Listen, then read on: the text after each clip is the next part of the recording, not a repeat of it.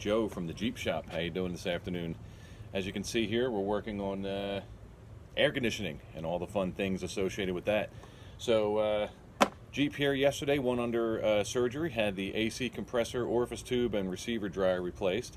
And uh, today we're pulling a vacuum on to uh, receive uh, to get all the condensation and air out of the system. And right now we're just kind of the waiting game for making sure that our repairs are accurate and they were made right by the mechanic, which is me. So um. Hey everybody, it's Joe from the Jeep Shop. How you guys doing today? It's a Memorial Day weekend and uh, the theme of this video is keeping cool, baby. So just replaced it, you can't see it here, but I just replaced the AC compressor. It's down in there because the clutch went bad. Eh, 210,000 miles, you're going to expect that. So let me give you an update on kind of where I'm at here. So uh, AC compressor and clutch has been replaced. The uh, AC orifice tube has been replaced as well as the receiver dryer. And you get that kit from Rock Auto. It's like 250 bucks. Um, get the work done in the shop. Uh, that's a whole bunch of money. If you can do it yourself, save some time, and it's a lot of fun too. Uh, Harbor Freight Special for the uh, air manifolds real uh, I think it was like 35 bucks. And then the uh, pump good old AutoZone. And it's a free tool rental. So what we're gonna do is we're gonna uh, evacuate the air out of the system. Uh, I took it to a shop to get the AC Freon uh, evacuated. So it was depressurized. And I can go in and do what I gotta do and uh, I'm going to give this a try here. I've done a whole lot of stuff with this Jeep, but I've never really done any AC work, so this should be pretty fun actually. I'm, I'm excited about it. Um, so to start off with, um, all of your knobs here, your low side knob, your high side knob are all closed. And then your couplers on your low side service port and your high side service port are all closed and counterclockwise is closed on the couplers and clockwise on the manifold. So what we'll do is we're going to draw a vacuum for like 35-40 minutes, get all the air, get all the moisture out of the system, and then we're going to do a, uh, a, recharge with the AC system. So uh, let's get this all hooked up and we'll crank it up. All right. Okay, so as you can see now we have the vacuum pump hooked up. Like I said, this was a rental tool from AutoZone. And the on-off switch is right there. And like I said, we have a closed, closed. And now what we're going to do is open the service ports. So this is currently closed, so we're going to open this by turning it counter, uh, turning it clockwise. Just turn until it says open. Same thing with the high pressure side. Sorry you can't see it. Again, I'm not starting the motor, so the pipes so the, uh, the hoses can be in the engine bay. So open, open. Okay, we want these closed, closed. And of course, as you can see, there is no Freon in the system right now. That's because we had the system evacuated yesterday at the store, at the shop at the store, like I did at a grocery store. Oh boy. So uh, Freon's really bad, nasty for the environment. Not as bad as that R12 stuff, which punched a hole in the ozone. Uh, this stuff will uh, will do some nasty things too, but uh, be a good steward of the environment and uh, leave no trace and uh, get that stuff evacuated. Just don't let it air out in the uh, in the open. So we're going to turn on the uh, pump here. Quiet little pump. As you can see right now, nothing is going on because I have these closed. So we're going to start drawing a vacuum. Open up both sides.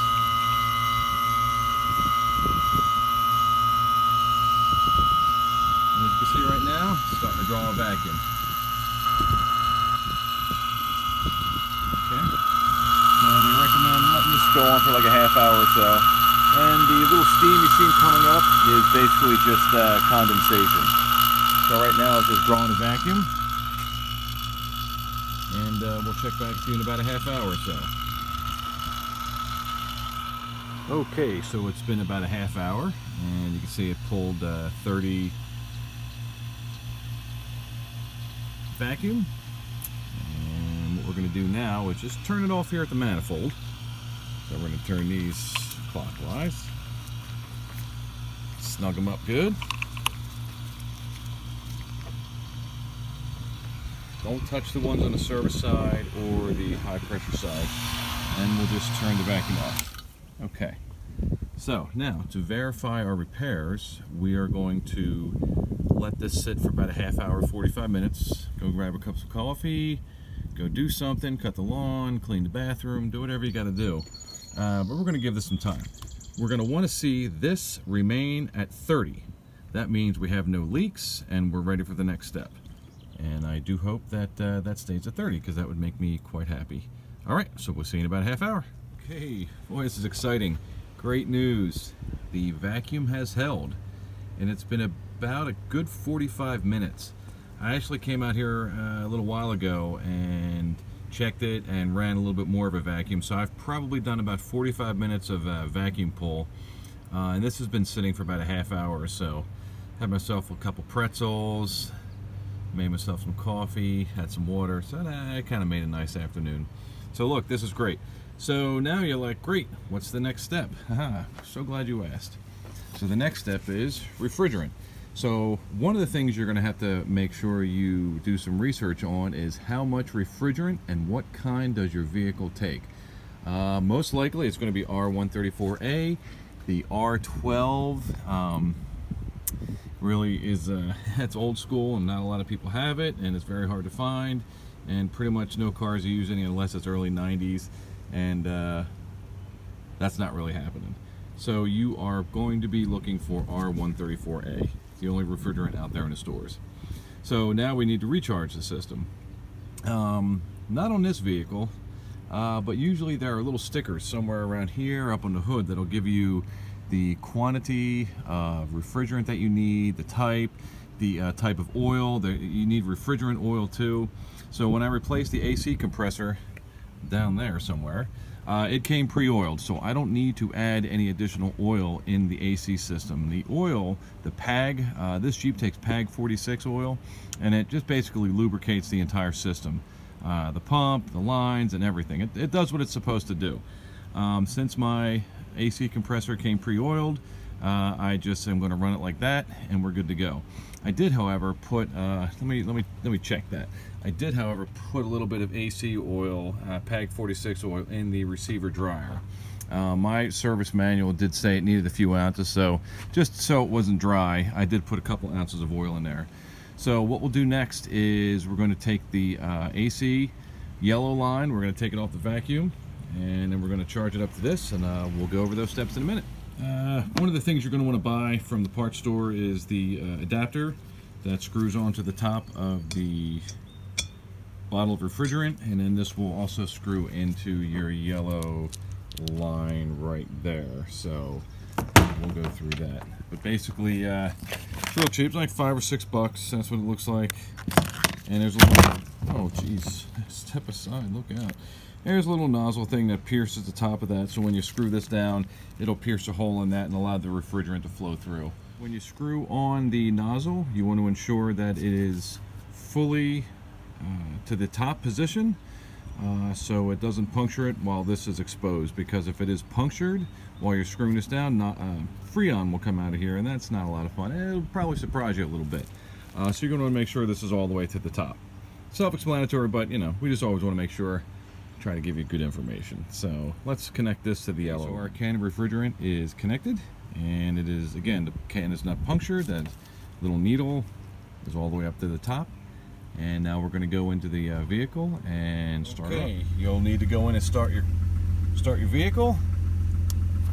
You don't want it on recirculating, just want it on regular air conditioning. You turn it on to medium.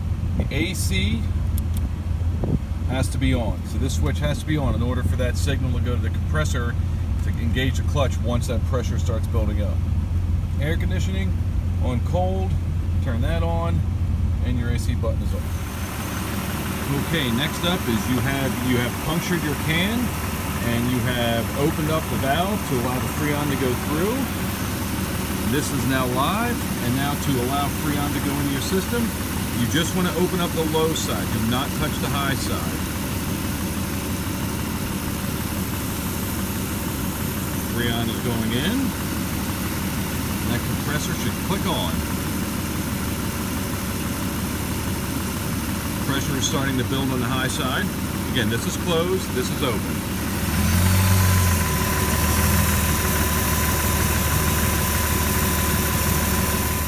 Okay, everybody, as you can see, the AC compressor is starting to cycle, building up pressure. Show you what that looks like.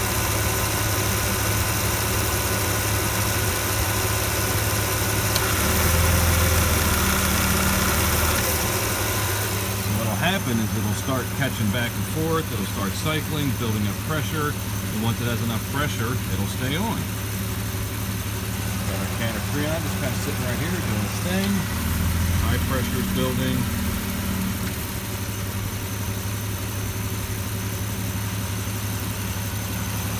Again, always feet from the low side. This has to be open. That has to be open this remains closed.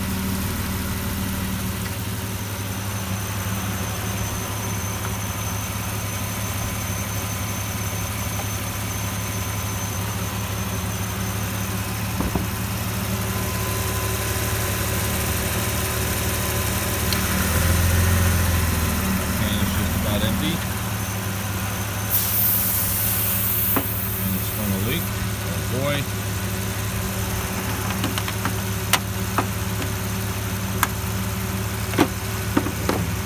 Say these trash cans really make a handy desk. Let's see, we're starting to get some cool air. Oh, baby, that's nice and cold. Oh, yeah. Oh, yeah. Alright, so what's going to happen is the uh, AC compressor is just going to continue to fill. The system's going to do its job, building up pressure cycling. And uh, once we get a full full setup, we'll, uh, we'll get back on the video. But you can see how the systems are all pressurized and starting to cycle through. Okay, so just to kind of wrap it up here, uh, final product. We have our low side at about 40 pounds, and high high side is a little over uh, 200. So based upon the ambient temperature outside, there's a range between you know 30, 40, and 50 uh, pounds pressure. Uh, it's not too humid today, so uh, 40 is about right. I just felt the uh, vents on the inside. Let me tell you what, man, that air is cold as can be. So a uh, little bit of that, a little bit of left in that can. I shut it off because uh, about 24, 24 ounces of coolant, 24 ounces of antifreeze Look at that AC compressor just turning and burning. So look, I hope you enjoyed uh, the video. Gave you a little idea of uh, things to look out for, things to check. You know, having the right tools, taking your time, working through all the process and all the steps. Uh, this should be a pretty straightforward process. Um, so uh, like and subscribe. And if you have any comments, you know, please uh, feel free to let them uh, let them fly down there. I'm I won't get my feelings hurt if you have any questions or problems with what I did. You know, I'm not a pro. Uh, I'm what you can call a, uh, a certified YouTube mechanic, right? So, uh, watched a lot of videos, read a lot of books, and uh, I'll tell you what, this is pretty easy. AC charge usually costs about $180. Uh, between the gauges, which are $30, and each can of Freon was, I think, $15. Uh, you can save yourself a lot of time and money and get the uh, get the satisfaction of doing a job yourself. So uh, when you're cruising down the road and your Jeep is nice and cool, or your car is nice and cool, or whatever you're driving, you can think about uh, what you did to get there. So hope you enjoyed the video. Like and subscribe, and take care. I'm out.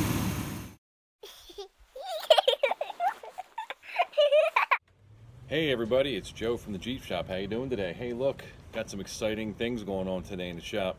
You can see here we're working on a uh, uh, AC compressor uh, rebuild kit.